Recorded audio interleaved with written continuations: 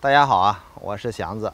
前两天见一个种植户，一见面他就开始吐槽这个除草剂，说这个百草枯也不能用了，连用草甘膦成本又太高了。草甘膦呢自己用心里又没底儿，然后不知道该怎么办好。我就告诉他，其实用这个草甘膦也是可以的。这个草甘膦呢，用的时候啊有很多注意事项，基本上跟百草枯差不多。首先呢，就是这个草甘膦，它使用的温度要在十八度以上，只有在十八度以上，这个草它才会吸收，起到一个很好的一个除草作用。另外就是，咱不要在早上或者说是在中午打这个草甘膦。嗯，有有些人说是早上打效果好，其实我不建议，因为这个早上啊，这个叶子上面有露水，这个药打上去之后啊，遇到露水之后，直接就把这个药吸湿了。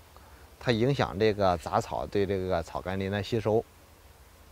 另外呢，就是你早上打上去之后，这个除草剂要几个小时才能充分的吸收。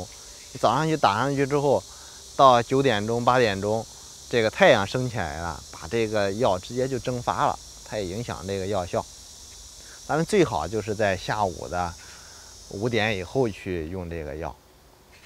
另外就是打这个农药的水，咱们一定要。